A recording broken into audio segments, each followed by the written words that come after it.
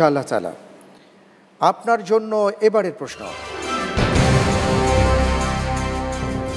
সুরা এখলাস দশ বার তিলাওয়াত করলে কি প্রতিদান দেয়া হবে? ক, জান্নাতে একটি ঘর বানিয়ে দেয়া হবে। খ, বিনা হিসেবে জান্নাত দেয়া হবে। গ, বিশেষ কোনো প্রতিদান নেই। ঘ, জান্নাতে সুউচ্চ মর্যাদা দেয়া হবে।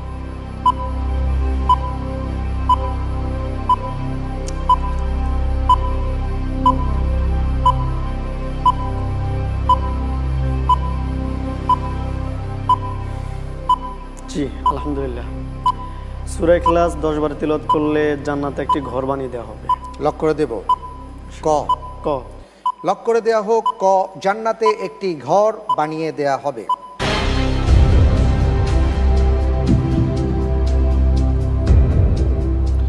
আপনি যে উত্তরটি দিয়েছেন যে সুরা এখলাস দশ বার তিলাবাত করলে প্রতিদান হিসেবে জান্নাতে একটি ঘর বানিয়ে দেয়া হবে। আপনার উত্তরটি এবারও সঠিক হয়েছে। আলহামদুলিল্লাহ। আলহামদুলিল্লাহ। অত্যন্ত চমৎকারভাবে আপনি প্রথম ধাপ অতিক্রম করলেন মিনহাজ ভাই।